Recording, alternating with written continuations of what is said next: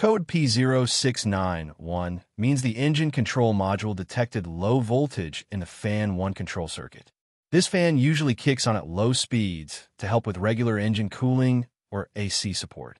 If the PCM commands the fan on and doesn't see the expected voltage or response, it assumes there's a problem, like a disconnected wire, blown fuse, or bad ground, and sets this code.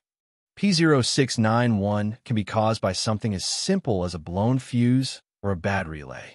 Another common issue is damaged wiring, especially at the relay box or fan harness. Sometimes the fan motor itself is at fault, pulling too much or too little current. On rare occasions, the PCM can't complete the ground path to activate the relay, which also causes this code. When this code is active, you'll usually see the check engine light and more importantly, the cooling fan won't run when it's supposed to. That leads to overheating, especially in stop-and-go traffic.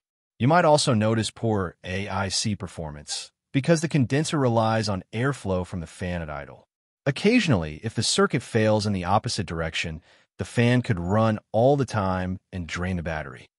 To fix a P0691 code, start with the fan relay and fuse. These are easy to access and quick to test. Then inspect the wiring and grounds, especially around the fan and fuse box area. You can also test the fan directly by applying power to see if it works independently.